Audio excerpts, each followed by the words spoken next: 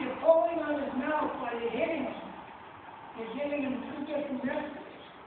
You're telling him to stop, or you're telling him to go. You know, you just put him in prison, and you have to move, and you're very.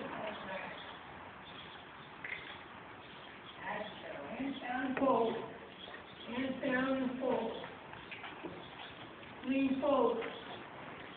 That's it. That's, that's it. Good. No jumping. That's excellent. Good. That's the Sarah. Good. That's the position. Got it.